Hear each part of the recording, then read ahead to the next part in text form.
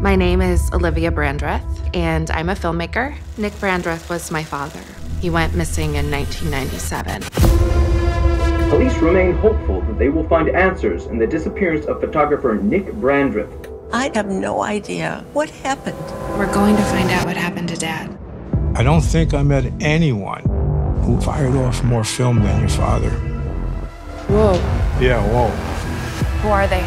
That's what your father was trying to figure out. So, a cult? More like an extremely old religion, is what your father thought. Did you believe the police statement that Dad's death was a suicide? No, not a bit. It doesn't make any sense. We hired a private investigator. He felt that my husband entered a parallel dimension. This is heading down a dangerous path. For the record, I still think this is a really bad idea.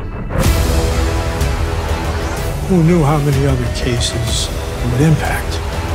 Other cases? Your father didn't commit suicide. He's become possessed. He now serves the Obsidian Pyramid. Before we're finished, I think you'll agree that truth is stranger than the strangest fiction.